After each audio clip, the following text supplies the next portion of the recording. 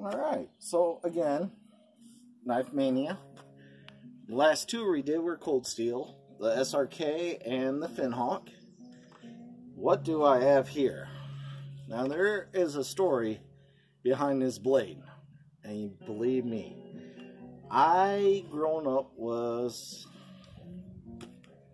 Crocodile Man, the whole nine yards, Crocodile Dundee. You know what I'm talking about. Now that's a knife. I actually have that knife. Through the years of usage, it became uh, the handle started to crack. The the pommel started to turn on it. It has not broken yet, but before it broke, I wanted to replace it because I I love that knife. That's going to become a wall hanger, uh, passed down to my child, and whole nine yards kind of knife. So up here, when I'm going through the woods, rather than carrying a hatchet, either I'll carry my axe that I forged, or I'll carry, and more often when I'm in the woods, I will carry a big bowie. Now, bowie knives are fighting knives. They just simply are. But they work really well as a hatchet.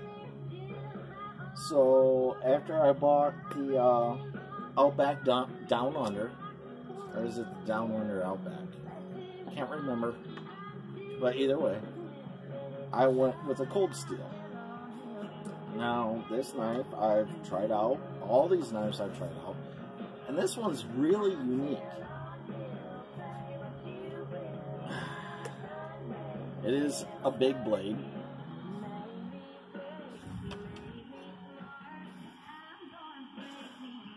It is a quarter inch thick. And it's not as heavy as you would think because of the full grain foyers in here.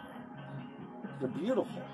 It's all blued like a traditional rifle would be, or what have you. Um, I think this is the 1912 uh, Frontiersman. Either way, I love this knife.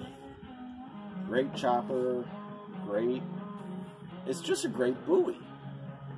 And up here, again, I don't use these for fine tasks, but it's got the finger choil here where you can choke up really get in there and do your fine work if you need to. Again, I don't use them for that.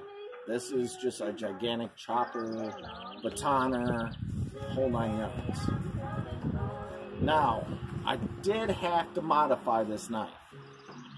Not the edge, not the steel, but the handle. When it came in, I bought it. I was super excited, the whole nine yards. Took it out back, and I had the old Christmas tree sitting there, and I wanted to butcher the Christmas tree, right? The handle came loose. Now you got three screws. They're through screws, which they they tie into one another. So I took those out, took this off, cleaned up the whole knife because it comes covered in grease, which is a good thing. Don't get me wrong; it means it will not rust during shipment, storage, the whole nine yards. You get a knife, a carbon steel knife, and if I remember right, I think these are only uh, 1040 carbon steel which is why they're so cheap. But for the price you get, it's a damn good knife. So anyway, I removed the screws, removed the handle, reblued the whole thing. I cleaned up the scale. Well, it's kind of weird. It's, they're not scales because it is a full tang knife, but only partially. It's not a full width full tang. So I don't know what you want to call this. But I cleaned up the wood, I sanded it, I restained it, I polyurethaned it, and when I went to go put the scale back on, and before I screwed it together, I epoxied it to the blade. So that handle's going nowhere. It'll chip, it'll break, it'll fray, but it's not going anywhere. Um, this is mostly like a self-defense. Up here we have badgers, we have bear, we have coyotes, we have coy wolf, and we have wolves. And supposedly there's been mountain lions found on trail cams. a fighting knife. Plain simple. It's got the full hilt, the S-Guard hilt, which I love.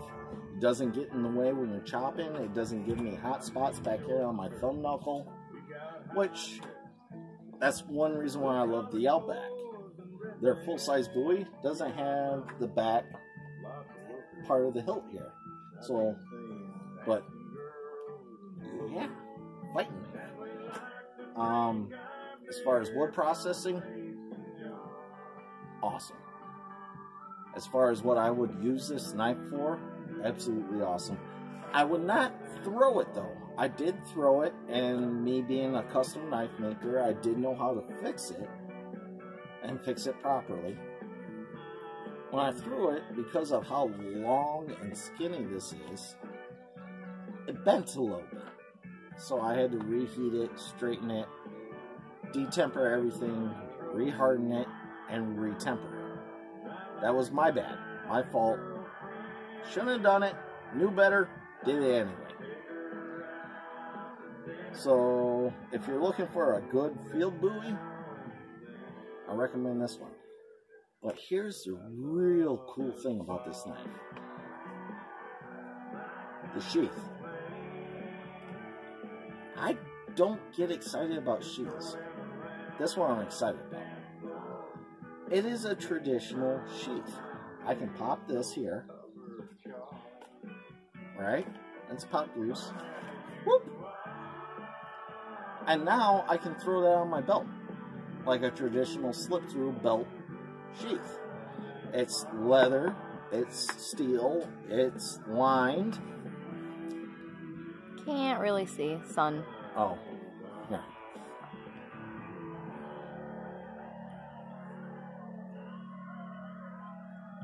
Well, if it doesn't show up, it doesn't There we go. It is a lined sheath. And then this, if you buy the cold steel uh, cutlass, this will hold your cutlass. So, you know, it's it's a traditional kind of I don't know, I'm just really fascinated with the sheath. All steel reinforced where it needs to be, brass where it needs to be, true leather, true leather stitching. I mean, it's just a really awesome sheath. And when I first bought this, I pulled it out of the case, and the first thing I did was smell it. Lot of you on what the hell? Well, leather, real leather, has a very distinctive smell, Mhm. and when you pull it out, it has that smell. It's a real, true leather sheath. So, if you're looking for something to carry rather than a hatchet, like I do, it's just personal preference. Um, yeah, you cannot go wrong with this knife. So that is our third cold steel. And what did I pay for this one, sweetheart? Ninety-eight dollars. Something like that. It was very affordable. yes, and it was just under a hundred bucks. You know, again, you're not getting super high-end steel, but for what you would use a knife this big for, it matches. Now, Cold Steel has a new bowie out. If I can, I want to get that one and the case bowie and put them neck to neck.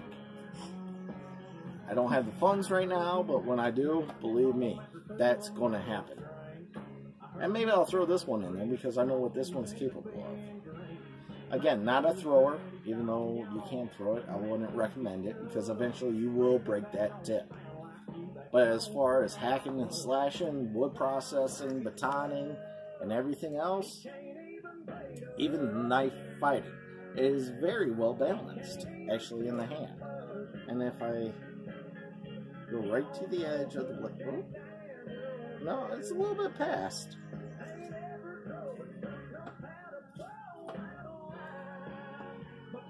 Trying not to drop it on your dog. Since he's laying right here. But it's very lively, it's very fluent. You can use it forward. A bowie with a full S S help. I, I can't do a reverse. I don't know. It just doesn't feel right. So I'd rather hold it traditional. But uh, definitely a decent fighting knife, decent woodsman's knife. I would not recommend trying to clean squirrel with this, or even a deer. You know, I prefer roughly a four inch, no bigger than like a five inch blade for cleaning game. But for roughly a hundred bucks for a big Bowie, um, yeah, you can't go wrong. Try it out. If you got the money, buy one. Most definitely. Till next time, Knife Mania, we're out.